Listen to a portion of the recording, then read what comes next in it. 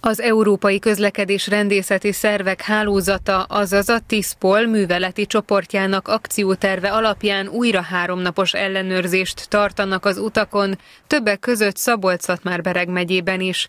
Most elsősorban a megengedett sebesség megtartását vizsgálják, ezek a felvételek Nyíregyházán a 41-esen, azaz az Orosi úton készültek. A mérőeszköz röviden csak VHKKEP, azaz változtatható helyű komplex közlekedési ellenőrző pont, ezzel több mindent tudnak figyelni a rendőrök ellenőrzik a járművek sebességét.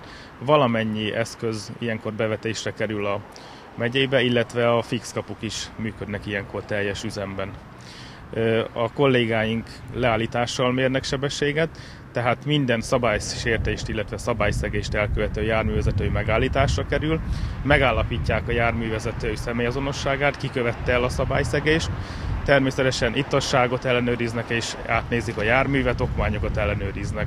Egy másik helyszínen már a gyorshajtókat állítják meg a rendőrök. Ez az autós 50 helyett 56-tal ment papírjai ellenőrzése és szondafújás után, azaz pár perc múlva már tovább is mehetett, most megúszta egy figyelmeztetéssel. A legtöbben szabályosan közlekedtek és jónak tartják, hogy ellenőriznek. Szerintem jó dolog az, hogy a rendőrök ellenőriznek, főleg itt a 41-esen, mert sok szabálytalankodó van. Én általában betartom, mivel az egyik oldal az, hogy nem is szeretek gyorsan hajtani, nem is szoktam, meg az autóm se nagyon megy gyorsabban. Így tehát én azt mondom, hogy szükség is van rá, és én, én díjazom, ha itt vannak.